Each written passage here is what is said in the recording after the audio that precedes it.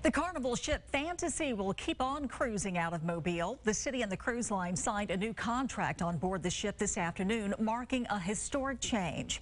News 5's Nicolette Schleisman has the story from the Alabama Cruise Terminal. Carnival Cruise Line says they want to stay in Mobile. Why do another one-year contract when we plan to stay? And today, signed the contract to prove it. We really wanted to do something more than the one-year contract to really put in paper what our commitment to the city really is. And I meant what I said. We really need and want this port to work really successfully. And it is. It's working. So we wanted to show that there's a commitment to that. For the first time, Carnival inked a three-year deal with the city meaning they will remain at the port through November 2022. We don't do this in uh, what ports that of similar size to Mobile.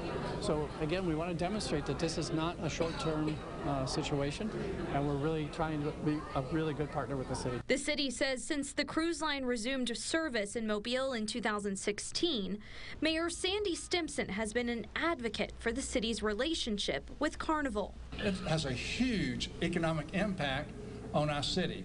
There's something like 25,000 room nights that we experience because of Carnival. Both Carnival and the city says this new contract shows growth potential for the city and cruise line. The real opportunity with Carnival, you know, it's not two not two ships, and we're not a Miami, we're not a Galveston. It's a bigger ship. We'd like to grow in the market. The agreement also lists the fantasy schedule through December 2020. We have that posted on our website, WKRG.com. At Alabama Cruise Terminal, Nicolette Schleisman, WKRG News 5.